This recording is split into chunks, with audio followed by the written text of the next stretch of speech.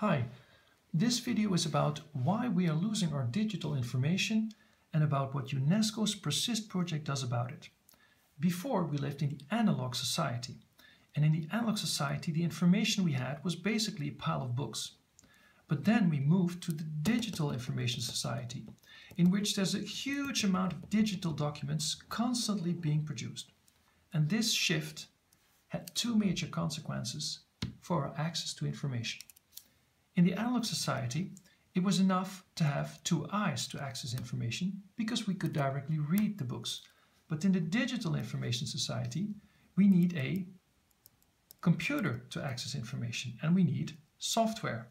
Our access to information has become technology dependent. And secondly, in the analog information society, the amount of information was relatively small so that it was practically doable to make a selection of it and to classify the selection so that we could search for books. But in the digital information society, there's so much information that we don't even know where to begin our selection. And this has a consequence, namely digital amnesia, the risk that we lose our digital information. And there are two reasons for that. The first one is related to technology, which constantly evolves.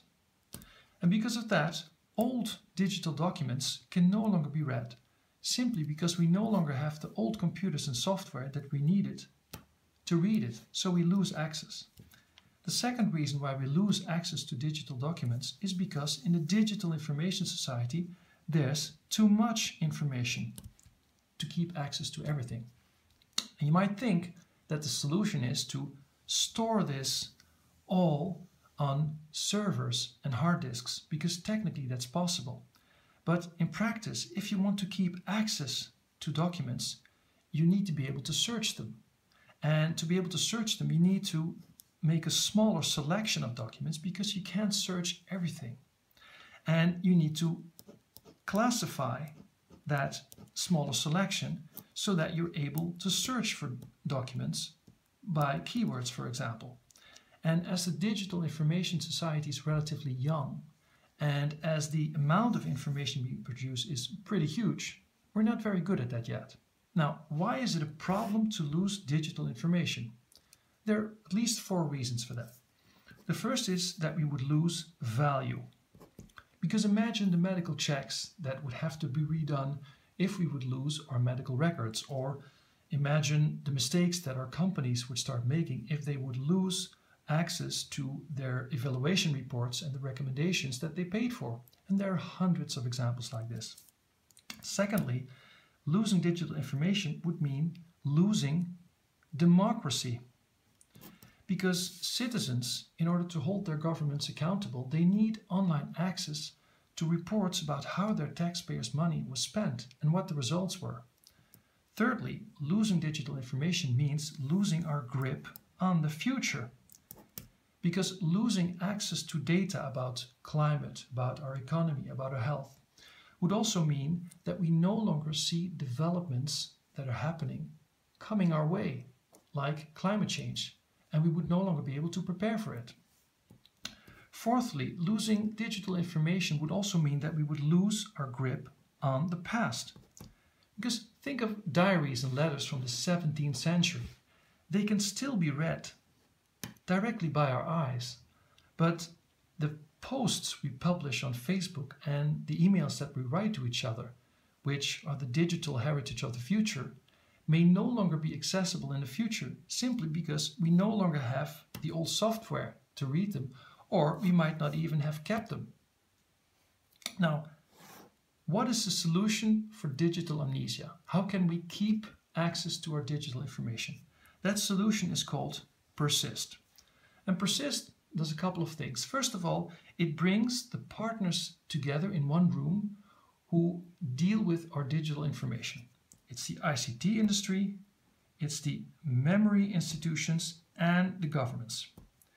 The ICT industry, they produce the software we need to produce digital information. Our memory institutions then preserve that digital information and they keep it accessible. And the governments, they support and facilitate the production of digital information and the preservation of it. Now, what PERSIST does it creates a dialogue between these three parties to ask them to work together to find solutions to keep our digital information accessible in the future. Let's look at the ICT industry first. It's in their interest to produce new software all the time because that's good for business, but it's not good for digital heritage and for digital information and for our access to it. So Persist asks the ICT industry to maintain a minimum continuity between old software and new software to make it easier for memory institutions to keep digital information accessible. Now let's look at memory institutions. They need to preserve digital information and to keep it accessible. So Persist produces a platform of old software that is needed to read old documents, like documents in WordPerfect, for example, or documents that are written on floppy disks. Secondly, it produces a guideline for the selection of digital documents.